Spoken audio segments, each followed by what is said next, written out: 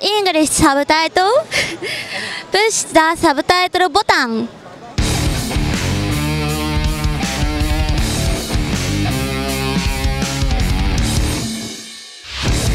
Hallo zu einer neuen Reptil-TV-Folge.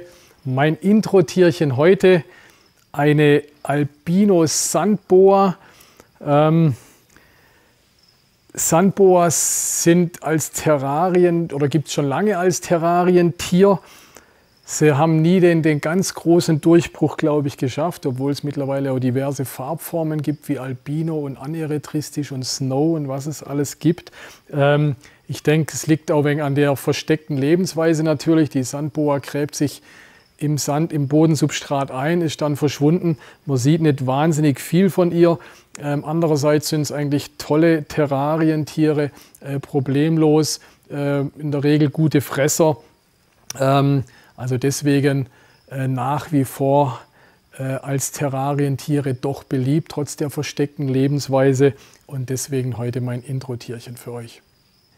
Wir machen heute die Basic Morphen. Hier ein Yellowbelly Königspython, ähm, 1999 vom Amir Soleimani das erste Mal gezogen. Äh, Im Amir sein Leitspruch war immer Not without a Yellowbelly und da hat er wirklich recht und äh, wieso, das machen wir in der heutigen Folge. Wie gesagt, angefangen hat es mit dem Yellowbelly so um das Jahr 2000 rum. Ähm, damals äh, kamen viele Yellowbellies aus Afrika. Ähm, nach wie vor werden eigentlich jedes Jahr einige Yellowbellies in Afrika äh, gerenscht. Ne? Auf den Farmen schlüpfen jede, oder nicht jede Menge, aber vielleicht jedes Jahr, ich würde mal sagen zwischen fünf bis zehn Yellowbellies, äh, die in Afrika jedes Jahr auftauchen. Also interessanterweise äh, eine relativ äh, häufige äh, Mutation auch in der Natur. Ähm, Eben, das fing so 2000 an. Äh, zu der Zeit war ich jedes Jahr zwei, drei Mal in Afrika, äh, habe geguckt, dass ich die ganzen Yellow Belly Babys äh, bekommen kann. Habe sie alle recht gut in die USA verkauft. Die, die Amis oder die US-Züchter waren sehr scharf auf diese Yellow Bellies. Keiner wusste eigentlich so richtig, wieso die so scharf drauf sind, beziehungsweise eben, da ging schon das Gerücht rum, dass man mit dem Yellow Belly eben weiße Schlangen züchten kann. Dann kam 2003, war das glaube ich, wurde äh, ein Ivory aus Afrika verkauft nach USA äh, für über 100.000 Dollar. Ähm, das hat das Gerücht, beziehungsweise nee, das war so, ich hatte die Geschwistertiere von diesem Ivory, äh, konnte ich in äh, zu dem Zeitpunkt kaufen. Das waren Yellow Bellies oder das war das, was, was nach Yellow Belly aussah was man eigentlich schon in den ein, zwei Jahren davor auch kannte. Äh, der Farmer hat Mark und Bein geschworen, äh, dass diese äh, Yellow Bellies oder dass diese Tiere Geschwistertiere von dem verkauften Ivory sind. Ähm, haben viele nicht geglaubt, haben viele gesagt, na, der lügt doch eh, kann man nicht glauben und so weiter. Äh, einige haben es geglaubt. Äh, ich habe die Tiere, äh, ich glaube damals an die Snake Keepers äh, USA verkauft und die haben tatsächlich ähm, ein oder zwei Jahre später damit den ersten Ivory gezüchtet, beziehungsweise ich weiß nicht, ob mit diesen Geschwistertieren oder vielleicht sogar ein Jahr davor schon mit einem anderen Tier, aber das ging alles wegen so parallel. Ähm, ich selber habe mir auch Tiere behalten gehabt, habe damit auch äh, allerdings deutlich später, ich glaube 2005, 2006, äh, meinen ersten Ivory äh, gezüchtet aus diesen Yellow Bellies. Ne? Ähm, ja, während ich hier das erzähle, äh, haben wir einige Ivorys da unten mal eingeblendet, einfach zum zeigen, äh, dass ich nicht nur von Ivorys rede, äh, sondern dass ihr einfach das Bild vor Augen habt, von was wir hier eigentlich die ganze Zeit sprechen mit der Zeit hat man gemerkt, dass der Yellow Belly der Key für viele andere Morphen ist. Ne?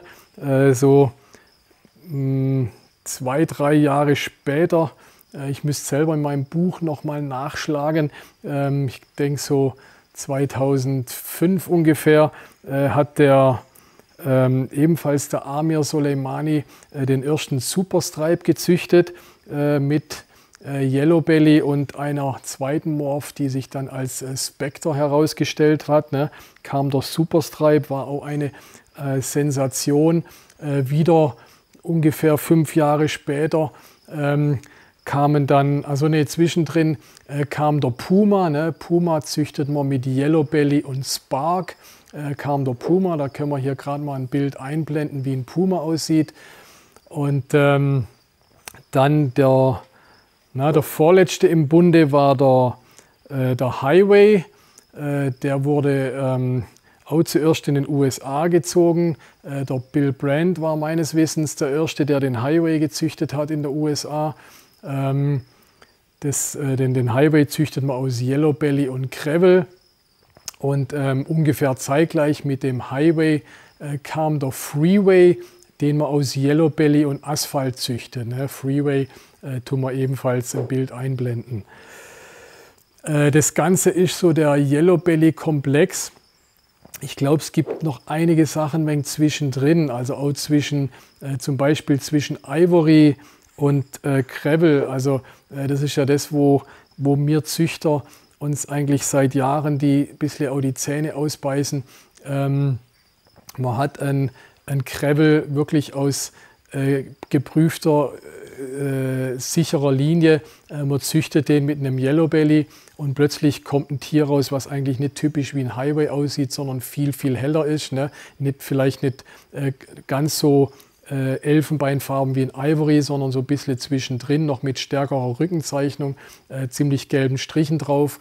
Ähm, also so ganz endgültig geklärt ist dieser ganze Komplex nicht. Es ist nach wie vor spannend, was da alles Neues rauskommt. Ich könnte mir gut vorstellen, äh, dass in diesem Yellow Belly Komplex außer Highway, Freeway, Puma, Superstripe, äh, Ivory, äh, dass da in Zukunft vielleicht auch noch ein, zwei neue Sachen dazukommen, äh, die man bis jetzt noch gar nicht gefunden hat.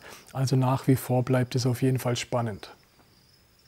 Nochmal ganz kurz den Begriff vom Yellow Belly Komplex, beziehungsweise ähm, wieso man sagt, äh, dass diese äh, ganzen Mutationen oder Farbvarianten allel zueinander sind. Ne? Ein, ein, Yellow Belly zum Gravel oder zum Spark oder zum, ähm, äh, zum Yellow Belly. Ähm, von, ein, ein, Jungtier kriegt von beiden Elterntieren 50 Prozent der Erbinformation. Ne? Ähm, Habe ich zweimal Yellow Belly, von beiden Eltern kommt zweimal Yellow Belly auf, äh, zusammen, äh, kommt ein Ivory raus kommt ein Yellow Belly und ein Gravel aufeinander, kommt ein Highway raus.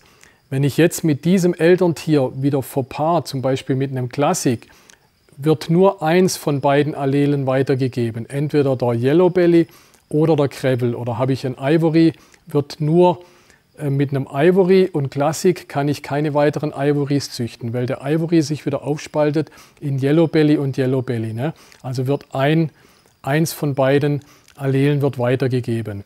Und so verhält sich das in dem Komplex. Ne? Habe ich einen Highway, verpaare ich den, wird entweder der Gravel oder der Yellow Belly weitergegeben. Habe ich einen Puma, wird der Spark oder der Yellow Belly weitergegeben.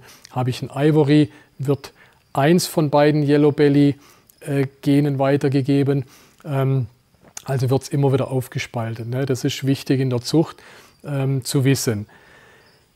Habe ich eine Combo wie in dem Fall, das ist jetzt ein Pastell Yellow Belly, der kann ja beides weitergeben, weil es nicht mehr allel zueinander ist. Ne? Wenn ich den mit einem Klassiktier verpaar, kann ich wieder Pastell Yellow Belly züchten, weil beide ähm, Genveränderungen weitergegeben werden. Ne? Es ist nicht allel zueinander, es sitzt auf einem anderen Gen, deswegen kann beides weitergegeben werden. Ne? Also deswegen, wie gesagt, spricht man beim Yellow Belly vom Komplex. Was ich mit diesem Tier aber noch zeigen wollte, dass der Yellow Belly ähm, nicht nur äh, so tolle Sachen wie Ivory oder, oder Highway zustande bringen kann, äh, sondern er macht insgesamt, äh, er kann auch andere äh, Farbenmorphen aufhübschen. Ne? Also hier bei dem Pastell äh, kommt der Yellow Belly jetzt nicht wahnsinnig zum Vorschein, aber er macht den Pastell einfach hübscher. Ne? Wenn ich ein Pastell in der Größe habe ohne Yellow Belly drin, dann ist das Gelb schon viel mehr verblasst. Äh, ich habe nicht diese kräftigen schwarz-gelben Farben und der Yellow Belly tut das Tier insgesamt aufhübschen. Ne? Also das ist noch der, der zweite Aspekt vom Yellow Belly, äh, außer dem, was wir gerade besprochen haben, ähm, was den Yellow Belly so interessant und so toll für die Zucht macht. Noch mal kurz zum Zeigen, was den Yellow Belly ausmacht. Ähm, wie der Name schon sagt, gelber Bauch. Äh, in dem Fall, der kommt jetzt sogar demnächst in die Häutung. Äh, vielleicht wegen unpassend gewählt von mir das Tier. Ähm, aber man kann es einiger, beziehungsweise eben, es ist nicht so leicht zu erkennen. Ne? Ähm, der Bauch ist immer relativ einfarbig. An der Seite hat er so diesen, äh, man sagt so wenig Reißverschluss dazu, ne? so einzelne schwarze Stellen, ne? so Reißverschlussartig.